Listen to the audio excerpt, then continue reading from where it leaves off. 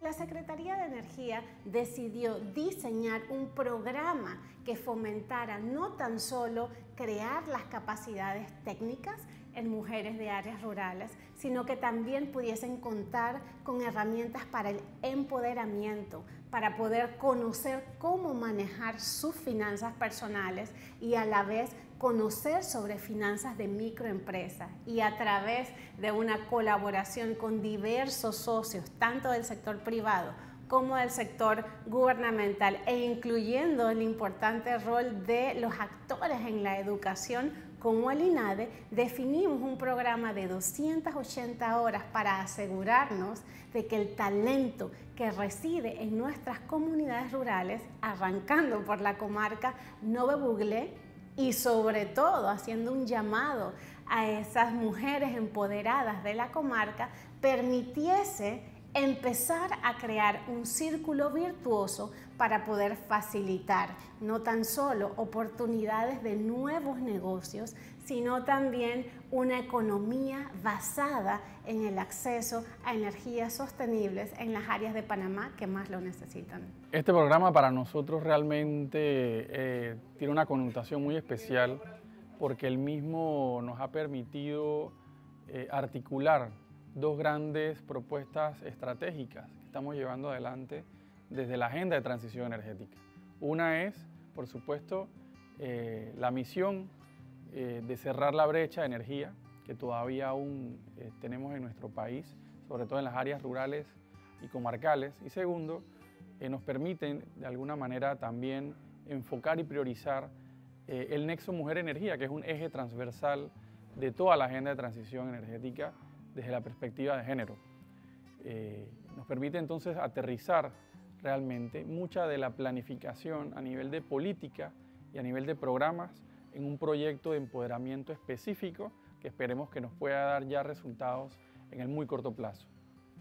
Las compañeras vienen de las tres regiones.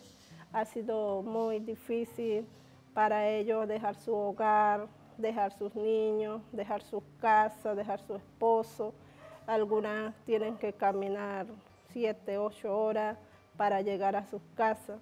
No es fácil, pero ellos le han prestado mucha atención a esta oportunidad que nos están dando, lo han valorado con la capacitación que ha sido tan intenso y hemos aprendido muchas cosas, la instalación del panel, lo que llamamos controlador, inversor, batería.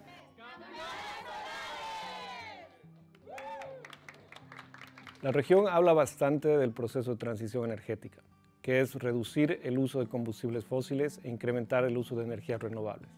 Esto para disminuir las emisiones y aumentar la sostenibilidad. Pero tenemos que hablar también de una transición energética justa y sostenible. ¿Qué es esto? Incluir a las comunidades que no tienen acceso a energía en el proceso de transición y también pensar en aquellos que deben crear capacidades técnicas para ser parte de este proceso. Es por eso que el programa de formación de campeonas solares incluye esos dos aspectos. Incluye a las mujeres para participar de la instalación, operación y mantenimiento de los sistemas y les brinda oportunidades de instalar ellas mismas sistemas solares en sus casas, dándoles acceso a energía. Ese es un proceso justo de transición energética que además incluye a las poblaciones más vulnerables. Por supuesto, esto tiene una importancia social y de desarrollo eh, de las comunidades y desarrollo del país en su contexto, porque estamos abriendo oportunidades a través de brindar el conocimiento, las habilidades y las competencias a mujeres para que puedan acceder a la electricidad a través del aprovechamiento de la energía solar. Con esto estamos entonces abriendo esas oportunidades para que la comunidad de la comarca pueda tener un mayor desarrollo, una mejor calidad de vida a través de la aplicación de este conocimiento. En la tiendita que hay aquí no hay luz, cuando a veces se cierra de las 7 a las 8 de la noche la barrotería porque no contamos con luz y hay que dar a veces cambio, eh, vienen a buscar productos, se utiliza el foco.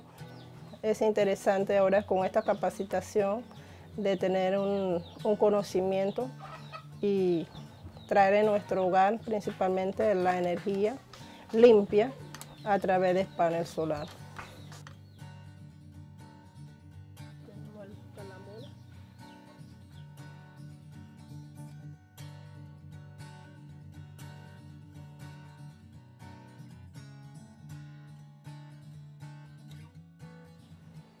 El impacto de la gente que, oh, una persona de aquí que adquirió ese conocimiento, pues, como yo les digo, a ellos no fue fácil estar ahí aprendiendo todo eso y intentamos de, de seguir visitando casas, organizándonos, porque el corregimiento es un poquito extenso, visitarlo y con el tiempo eh, las cosas se vayan arreglando y eh, tendremos clientes.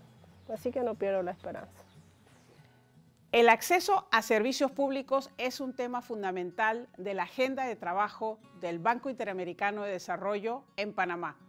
Por ello, apoyamos iniciativas que facilitan el acceso a la energía moderna y sostenible, como este programa de capacitación, Campeonas Solares, que mejora la calidad de vida de poblaciones menos favorecidas. Nos sentimos orgullosos de haber sido parte de este programa que muestra todo lo que se puede lograr cuando el sector público y la empresa privada se unen en un mismo propósito. Iniciativas como estas son esenciales para cerrar la brecha de género y diversidad, de manera justa e inclusiva.